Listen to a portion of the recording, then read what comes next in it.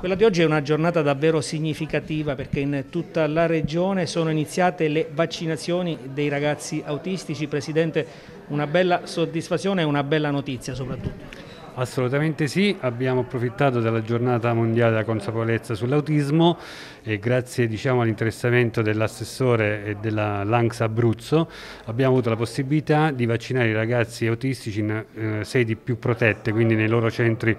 dove eh, loro frequentano mm, diciamo, giornalmente, per, per cui diciamo, non li abbiamo lasciati in un centri vaccinali normali dove sarebbe stato molto più difficoltoso. Una giornata importante anche perché era necessario, era fondamentale vaccinare questi ragazzi. Assolutamente sì, perché loro sono una categoria di fragili, quindi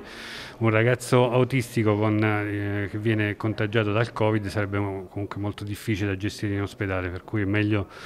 fare eh, la vaccinazione il prima possibile, quindi abbiamo approfittato di questa giornata. Si riapre la speranza per poter continuare le riabilitazioni in massima sicurezza e direi però che la, la, strada per i diritti è ancora in salita, c'è tanto da fare, ci sono tantissime eh, persone, soprattutto gli adulti che hanno bisogno eh, di assistenza, di centri di riabilitazione, ma ancora anche eh, quella famosa, quel famoso dopo di noi che è il primo pensiero dei genitori, delle famiglie che hanno eh, figli autistici.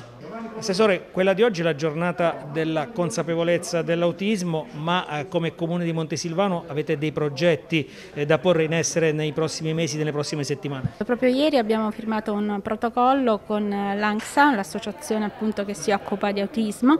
ed è un protocollo molto, molto interessante, un gesto anche di amore che abbiamo voluto dare a queste famiglie. Organizzeremo attraverso l'associazione dei corsi di formazione proprio per gestire eh, questo tipo di approccio quindi al ragazzo autistico attraverso sia gli studi all'interno degli uffici ma anche con le categorie